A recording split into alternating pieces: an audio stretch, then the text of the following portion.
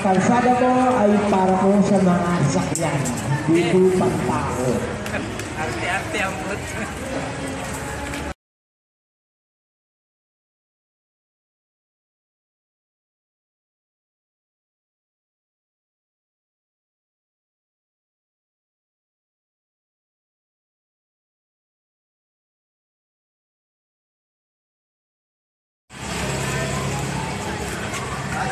Siksikan tuloy yung mga tao dito.